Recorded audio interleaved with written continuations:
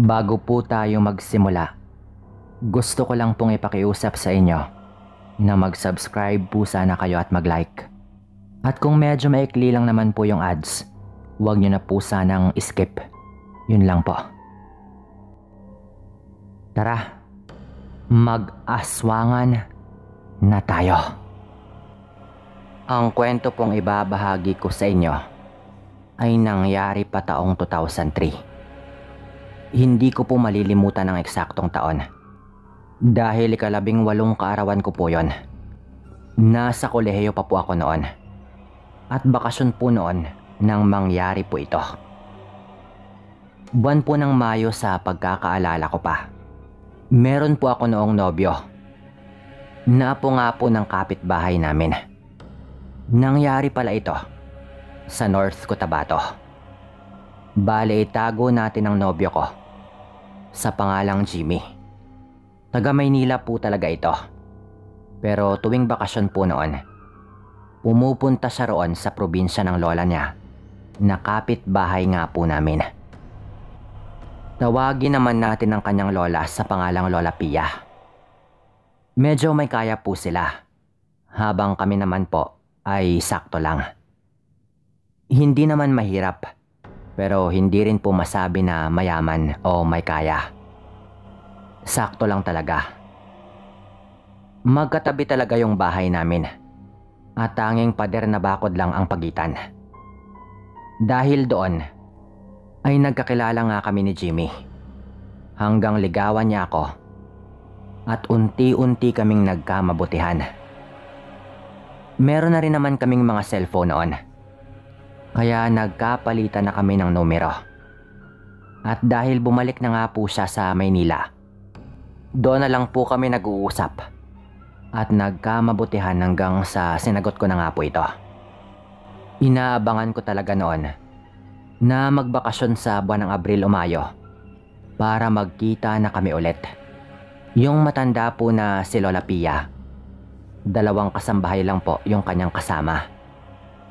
Kung wala nga yung kanyang mga katulong, mag-isa lang ito sa kanyang bahay.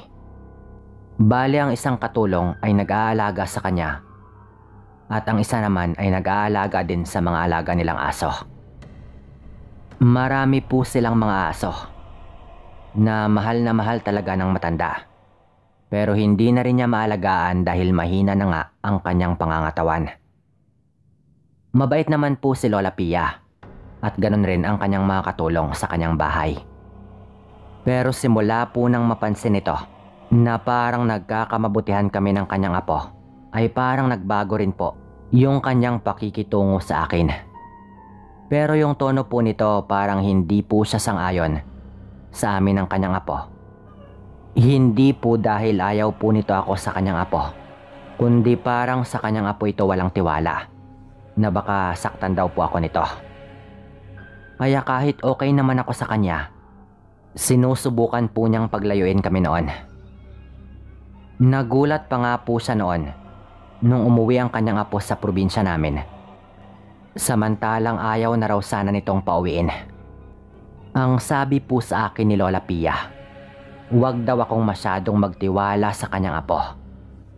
Dahil laking Maynila raw po ito at medyo may pagkababaero. Ganon na ganon po yung kanyang pagkasabi sa akin noon.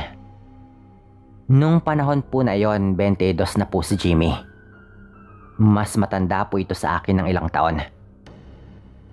Pero hindi pa siya nakapagtapos ng kolehiyo dahil may pagkabulakbol talaga ito.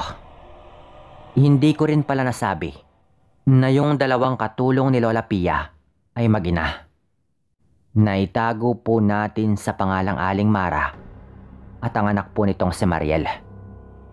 Nung taon po na iyon, taong 2003, lalo pong humina ang katawan ni Lola Pia at naospital pa nga po ito nung panahon pa talaga na umuwi nga po roon ang kanyang apo na nobyo ko nga po.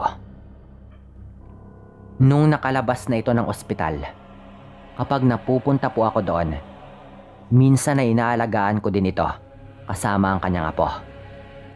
Parang yun po noon yung naging dahilan. Kaya napansin po ng matanda na parang nagagawa ko namang baguhin ang ugali ng kanyang apo. Kaya unti-unti ay tinanggap niya kami sa mga araw po na iyon.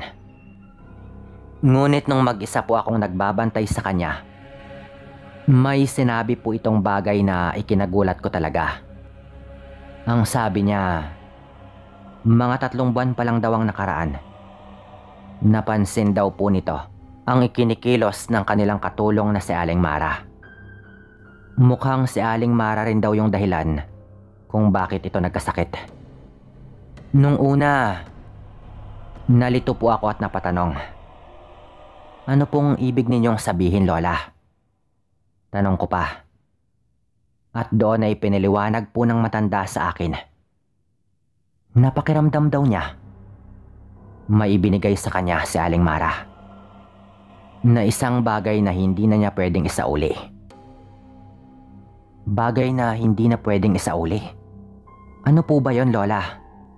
Naiwala niyo po ba yung kanyang ibinigay? May kaya naman po kayo eh. Pwede mo naman pong palitan.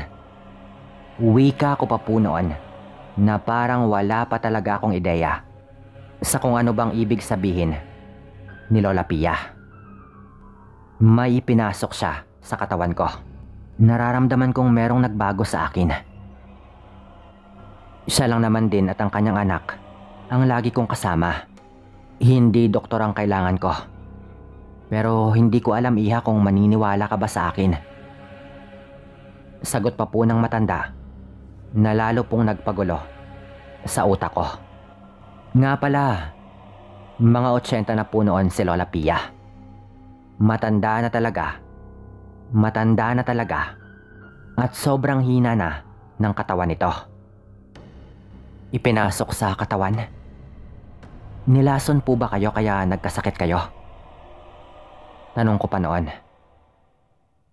Parang ganon iha. Pero yung ibinigay niya sa akin, na nasa loob na ng katawan ko ngayon, may sariling buhay. At binabago nito ako.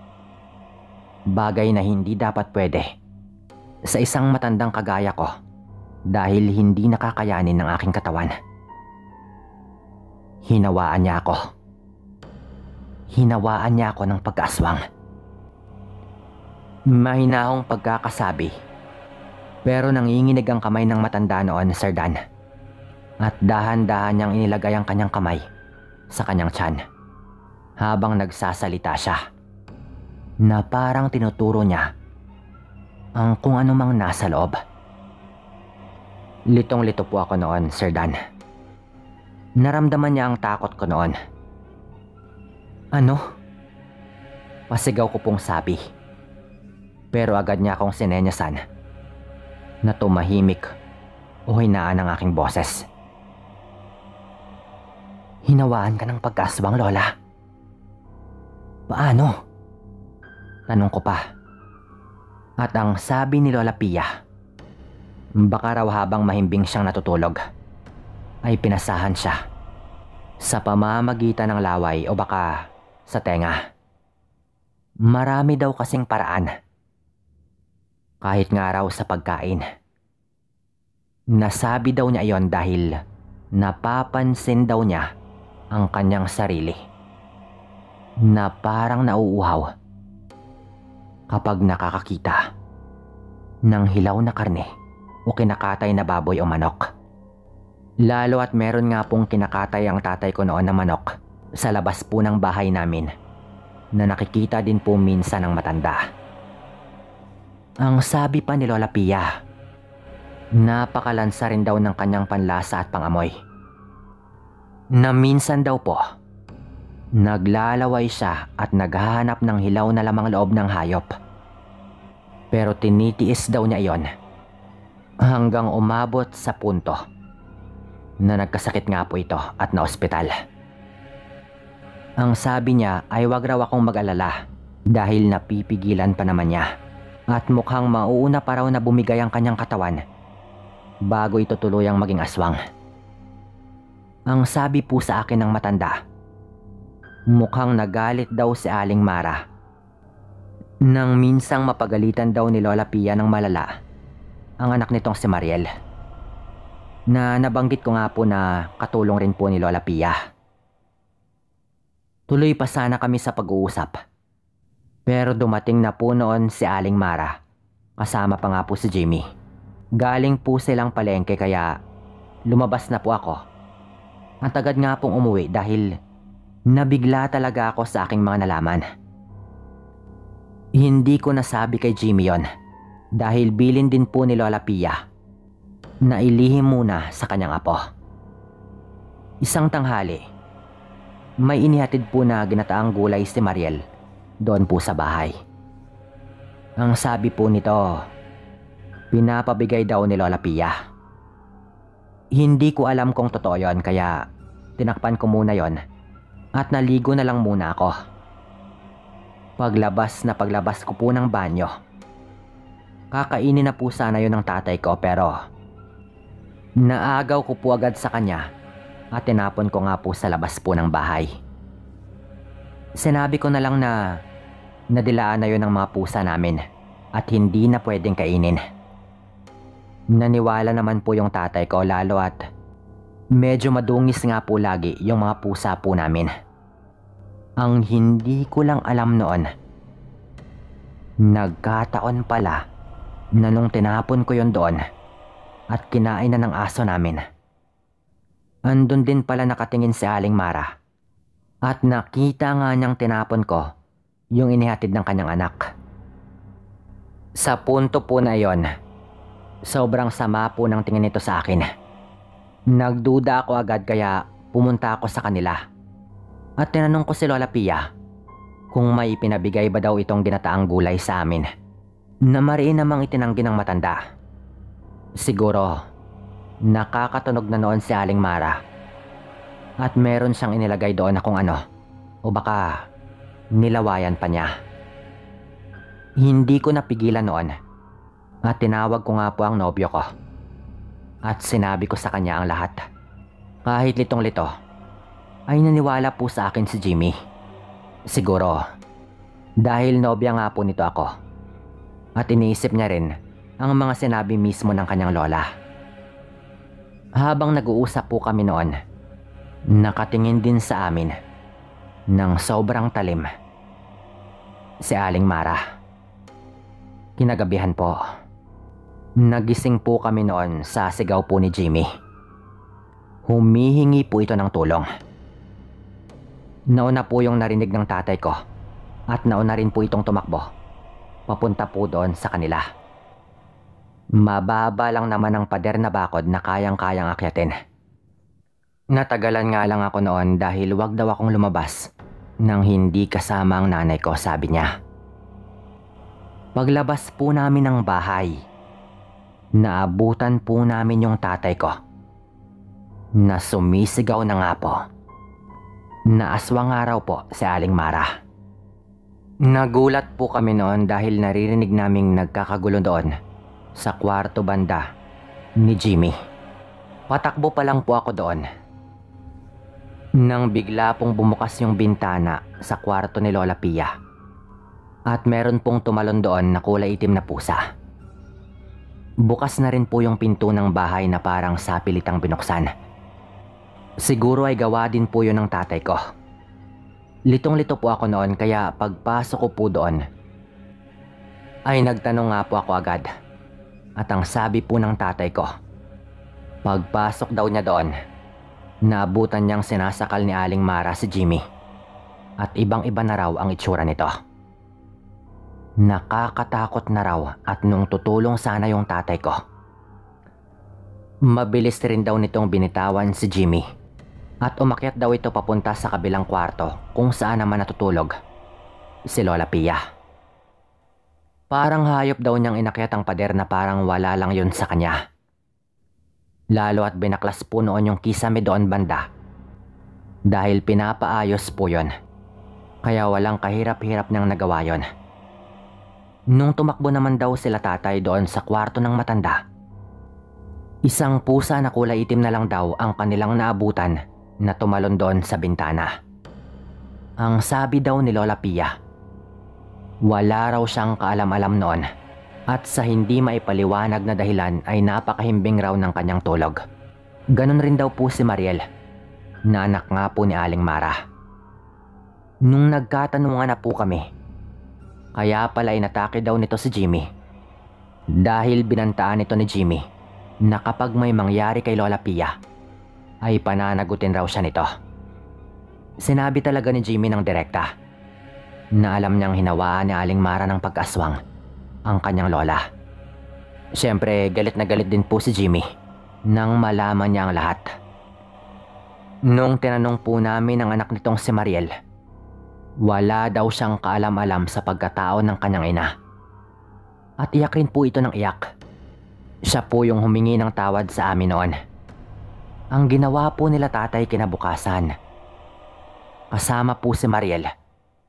Pinuntahan po nila si Aling Mara sa kanilang lugar. Pero ang nangyari, pasok pa lang daw sila doon sa medyo masukal na parte kung saan naroon ang bahay nila Aling Mara. May mga humarang na raw sa kanilang kamag-anak daw nito na halatang kapag nagpumilit pa sila, magkakagulo talaga. Parang alam daw ng mga ito ang pagkatao ni Aling Mara kaya baka nga mga aswang rin yung mga ito. Ang nangyari po noon, si Mariel na lang po yung umuwi. At ilang araw lang po, bumalik na rin po doon para kunin ang mga gamit niya para wala na raw gulo. Ang sabi po nito sa amin, tawagan na lang daw namin ng albularyo si Lola Pia kapag bumibigay na talaga yung katawan nito. Dahil malabo na raw na mailabas pa niya yung ibinigay ni Aling Mara sa lagay ng kanyang mahinang katawan. Sa gayong paraan daw, lilisan daw si Lola Pia ng tahimik na hindi na kailangang ipasa pa ang kung anumang ibinigay na pagkaaswang sa kanya ni Aling Mara. Humingi ulit ng tawad si Mariel noon at sinabing umalis na raw ang kanyang nanay para makaiwas. Sinunod po namin ang sinabi ni Mariel at pumanaw nga po ng matahimik ang matanda nung bumigay po yung katawan nito pagkalipas lang po ng mga isang buwan. Yung tungkol naman po sa amin ni Jimmy, nag-asawa po kami at nakatira na kami ngayon dito sa Maynila. Maraming salamat po sa lahat ng mga nakinig. Maraming salamat din po sa programa po ninyo. Paalam.